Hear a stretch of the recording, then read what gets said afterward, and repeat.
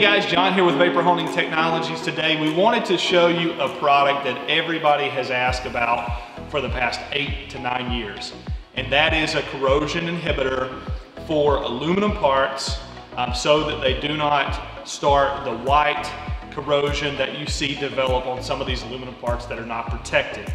Um, if you don't want to clear coat a part, an aluminum part, after you vapor hone it, then this is something you should spray on it after you do the blasting process and of course after you clean and get the part ready for reassembly.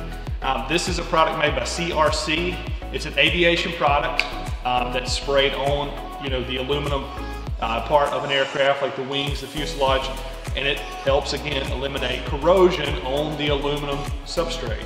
Um, so it's CRC Aviation 336. It's a corrosion inhibitor and it's works phenomenally well on aluminum. So what you do is you just lightly mist the part. You can wipe it in. That's what I recommend. I don't recommend soaking the part in this stuff. A little bit goes a long ways.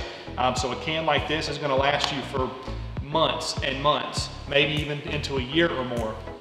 The product is not that expensive. It may be 12 or $15 um, and you can get that on Amazon. That's where we found it.